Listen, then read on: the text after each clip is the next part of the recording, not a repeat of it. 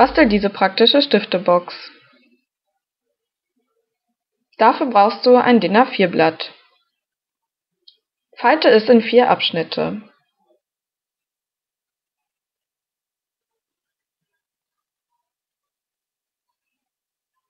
Öffne das Papier und knicke die zwei Ecken.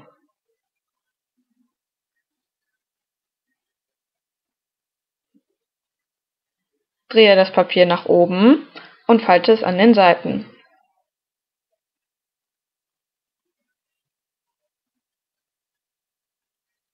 Falte die Ecken nun in der Mitte.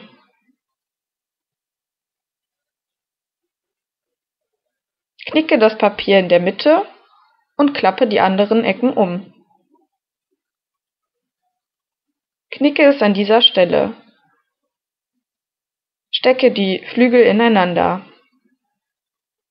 Wiederhole dies auch an der anderen Seite.